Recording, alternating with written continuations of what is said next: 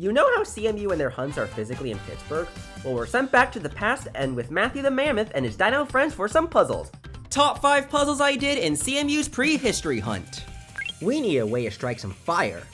There's Tinder around, but this one involves matchmaking logic puzzles. Some, like Puzzle 7, have the Akari and Slalom Loop easily spottable. But for many, finding out which puzzles to Fusion Hall was incredibly challenging. Puzzle 5 definitely had a nonogram, but it took a while to find the hidden simple loop puzzle. We only got 5 pairs, but it was just enough to spark an answer with Nutrimatic. But that Tinder making wasn't in the past. I was late, yet again, and started in the present. Now, Matthew the Mammoth needs to find a way back home with not one but two metas at a time, so big spoilers incoming! First, Matthew needs to find a way to link the light legendary lizards to the dark digital devices in Fossil Park, along with a gigantic logic puzzle! My teammate pointed out that each feeder answer can have L's and D's inserted to a phrase that actually indicates the light and dark squares. Then we need to deduce the path and fossils. Once that's done, we found that a microblogging mastodon is how Matthew the Mammoth can link up with his friends.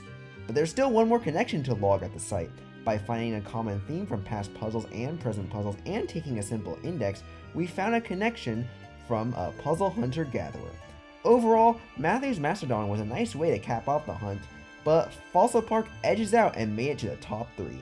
A major part came from our ability to overcome our initially limited supply of fears thanks to back solving and logical strategy. For example, we can work backwards by finding some clue answers and removing L's and D's or looking at the end of the path. These moments are awesome to see. But there's still two puzzles I like over those. One of them had the high voltage. Time for another cryptic with rock music, but without the entry labels and length confirmation, finding the clues is incredibly difficult, not to mention how some of the answers don't really fit in the grid. Still, I like some clues like leave Monopoly Square and bad grade in Alabama exam. But once we found out what to do with the answers, it was a smooth jam from here on out. These extras are AC/DC songs, and we work with album numbers with the voltage formula. It was really nice finishing off this melody with my graphing and math skills to find plots and intersections for the extraction. Before my top pick, some honorable mentions. Cave paintings. I am at a loss of words with these nice blackboard drawings. Spinosaurus. The spinning mechanic was an amusing twist. Asteroid. I like how this was on a piazza. Early settlement incorporating a 58 letter long village name into a logic puzzle, and Civilization 5. These mini puzzles rule.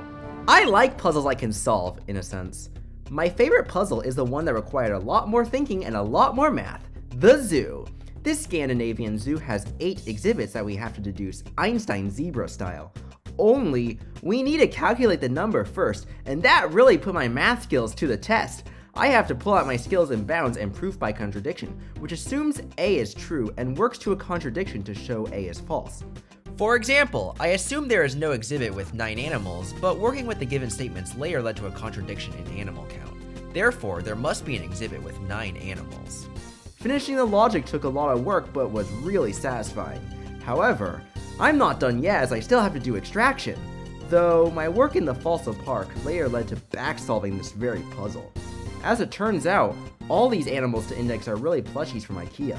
So that's why the shark calls for trans rights. And that wraps up CMU's prehistory hunt.